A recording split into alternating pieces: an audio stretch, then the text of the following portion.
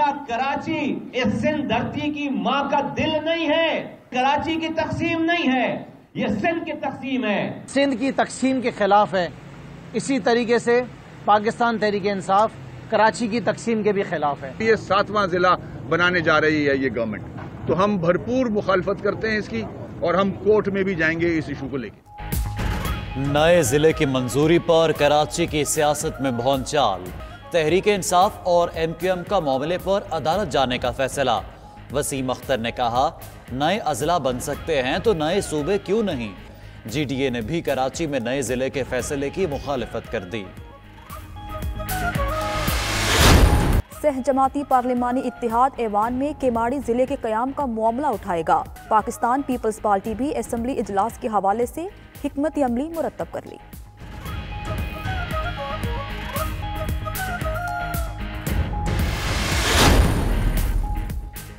सूबा बनाने के लिए पास ज़मीन भी है, जमीर भी। खालिद मकबूल सिद्दीकी का बल्दियाती नुमाइंदों से खताब। कहा, सूबे के लिए किसी की ज़मीन नहीं चाहिए। पाकिस्तान भर में ज़्यादा से ज़्यादा सूबे बनने चाहिए। अजला बढ़ सकते हैं तो लसानी बुनियादों पर सूबे क्यों नहीं? ख्वाजा इजहार बोले, हमें पीपल्स पार्टी की नीयत पर शक है। सईद गनी का कराची के मजीद अजला बनाने का इंदिया कहा, जलाई वस्ती भी काफ़ी बड़ा है। मुस्तकबिल में एक और जिला बनाया जा सकता है। सिंध में बल्दियाती निज़ाम 29 अगस्त को ख़त्म हो जाएगा।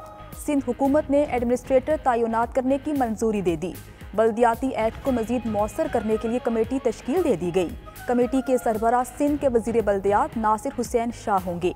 कमेटी मुशावरत के बाद एक माह में सिफारिशात देगी।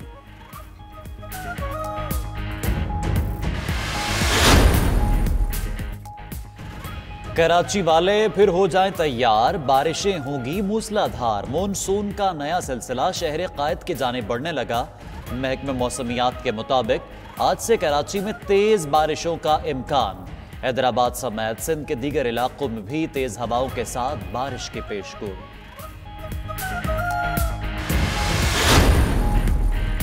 कराची में बिजली बहरान फिर सर उठाने लगा। शहर के मुख्तलिफ़ इलाकों में गैर एलानिया और तवील लोड शेडिंग मामूल बन गया। गुलस्तान जौहर गुलशन इकबाल में बिजली की फराहमी मुअत्तल। फनी खराबी के नाम पर भी मुख्तलिफ़ इलाकों में घंटों बिजली की बंदिश।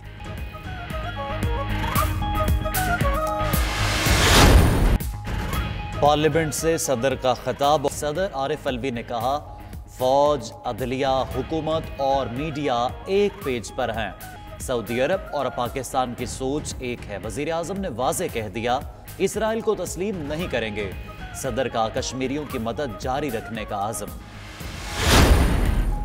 जितने भी वहाँ घराने हैं, आपने फैसला किया कि उन सबको आप हेल्थ इंश्योरेंस दे रहे हैं। और हेल्थ इंश्योरेंस आप दे रहे हैं दस लाख की। दुखी इंसानियत की जब आप खिदमत करेंगे, जब वो दुआएँ आपको देंगे तो आपको तब अंदाज़ा होगा कि किस तरह अल्लाह की रहमतें और बरकतें आपके सूबे के ऊपर आएँगी। खैबर पख्तूनख्वा में हर खानदान को सेहत कार्ड देने का ऐलान। सालाना 10 लाख रुपए तक की हेल्थ इंश्योरेंस मिलेगी। वज़ीर आज़म का तकरीब से खिताब। कहा पंजाब हुकूमत पर भी ज़ोर दूँगा कि वो भी ऐसा प्रोग्राम लाए। फलाही रियासत की मंजिल की तरफ़ गामजन है। शुरू में मदीना की रियासत को बड़ी मुश्किल थी। फिर इसी रियासत के अफराद ने दुनिया की हुक्मरानी की।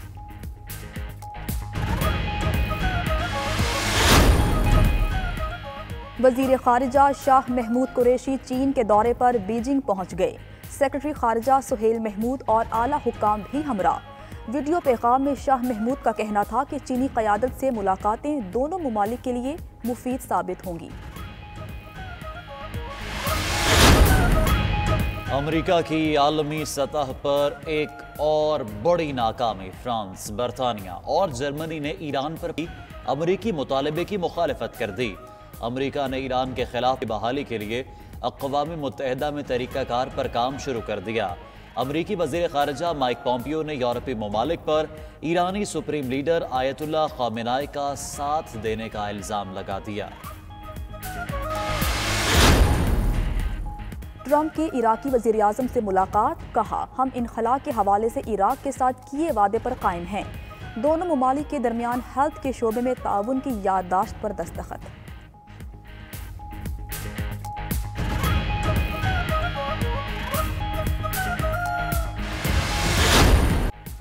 यकुम मुहरम, मुराद रसूल सल्लल्लाहु अलैहि वसल्लम, हज़रत उमर रज़ी अल्लाह तला का उन्हें तमाम गजबात में हिस्सा लिया। नबी करीम की दुआ से इस्लाम कबूल किया और एलानिया नमाज़ अदा की।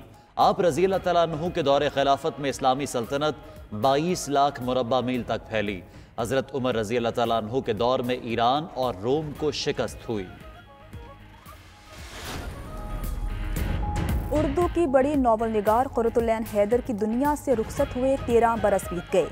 निखारी खातून आज भी अपनी लाजवाल तहरीरों में ज़िंदा। क़ुरतुलैन हैदर ने 11 बरस की उम्र से लिखना शुरू किया। आग का दरिया, मेरे भी सनम खाने, गम दिल, चांदनी बेगम, उनकी यादगार तसानीफ।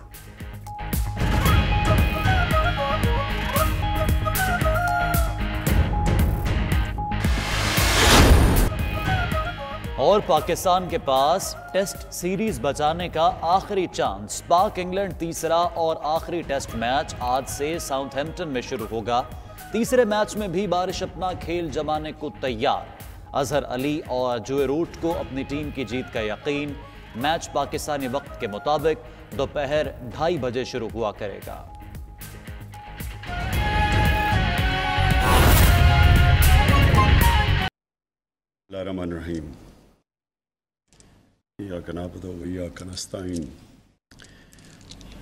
मैं आज खैबर पख्तूनख्वा की हुकूमत को बहुत मुबारक देना चाहता हूँ। ये जो आपने कदम उठाया है कि आपने सारी पख्तूनख्वा की जो पॉपुलेशन है, जितने भी वहाँ घराने हैं, आपने फ़ैसला किया कि उन सबको आप हेल्थ इंश्योरेंस दे रहे हैं। और हेल्थ इंश्योरेंस आप दे रहे हैं दस लाख की। हर फैमिली को दस लाख की हेल्थ इंश्योरेंस दे रहे हैं। मैं तो आपको जितनी भी मुबारक दूँ वो कम है, क्योंकि आपको शायद ख़ुद अंदाज़ा नहीं है कि आपने कितना बड़ा कदम उठाया। जो हमारे में से अल्लाह में ईमान रखते हैं, और जो ये ईमान जिनका है कि सब, जो भी कामयाबी है, वो अल्लाह की तरफ़ से आती है, इज़्ज़त अल्लाह की तरफ़ से आती है। लेकिन वो अल्लाह से जब आप चाहते हैं कि वो आपको इज़्ज़त और कामयाबी दे तो इसके लिए मेहनत करनी पड़ती है। अल्लाह को खुश करना पड़ता है। कोई चीज़ अल्लाह को इससे ज़्यादा खुश नहीं करती जब आप अल्लाह की मखलूक की खिदमत करते हैं। और इससे बड़ी कोई खिदमत हो ही नहीं सकती कि जब कोई गरीब घराने के अंदर बीमारी हो और उनके पास पैसा ना हो उसके लिए अपना इलाज करवाने के लिए। और जो सारी रिसर्च एक चीज़ एक चीज़ वाज कर देती है कि एक लोगों को गुर्बत से, लकीर से नीचे लाने की सबसे बड़ी चीज़ होती है कि एक ख़ानदान में बीमारी हो जाए। और वो जो ख़ानदान है, वो सारा पैसा अपना सब कुछ खर्च करता है किसी का इलाज करवाने के लिए और उनका बजट टूट जाता है। तो वो पैसा जो उन्होंने रखा होता है घर में खाना खिलाने के लिए, बच्चों को पालने के लिए, वो पैसा चला जाता है इलाज के ऊपर। और ये वजह थी कि जब मैंने पहली दफ़ा मुझे इसका सामना करना पड़ा एक गरीब आदमी, कैंसर का मरीज़ तो इस सोच से शौकत खानम का कैंसर हॉस्पिटल बना था। और मैं आपके तजर्बे से अपना बता सकता हूँ कि जिस तरह आज आपने एक मुश्किल वक्त में जब हमारे पास फाइनेंशियल कंस्ट्रेंट्स हैं, जब हमारे पास बजटरी कंस्ट्रेंट्स हैं, हमारे पास उतना पैसा नहीं इकट्ठा हुआ जितना हम समझ रहे थे कि होगा।